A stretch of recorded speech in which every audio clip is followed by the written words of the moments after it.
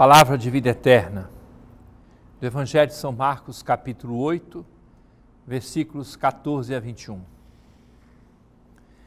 Naquele tempo, os discípulos tinham se esquecido de levar pães. Tinham consigo na barca apenas um pão.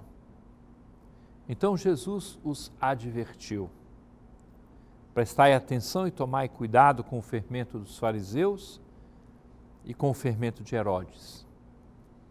Os discípulos diziam entre si: É porque não temos pão. Mas Jesus percebeu e perguntou-lhes: Por que discutis sobre a falta de pão?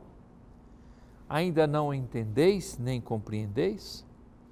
Vós tendes o coração endurecido.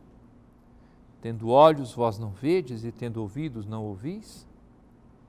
Não vos lembrais de quando reparti cinco pães para cinco mil homens?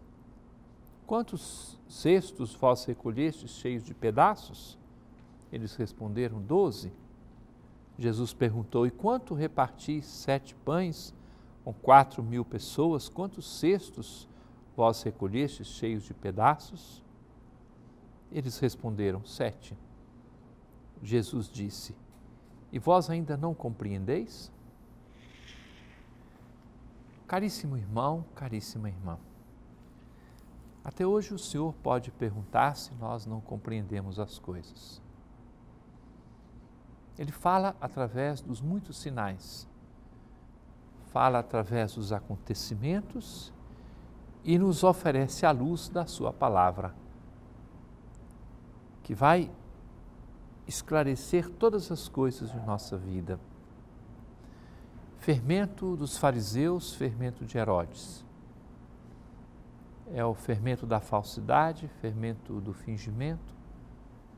E Nosso Senhor, na simplicidade de sua vida com os apóstolos, oferece um alimento diferente. Aquele alimento simbolizado pelos milagres que ele fez nas multiplicações de pães. Uma vida serena, transparente, equilibrada, aberta, carregada de sinceridade. É a proposta que o Senhor nos apresenta. É o caminho que nós queremos percorrer mesmo com todas as limitações que eventualmente possamos ter, trata-se de fazer essa escolha da sinceridade, da limpidez do coração. E fazendo-a, nós queremos expressar em nossas vidas a escolha que nós decidimos realizar, o seguimento estrito de Jesus para sermos seus discípulos palavra de vida eterna.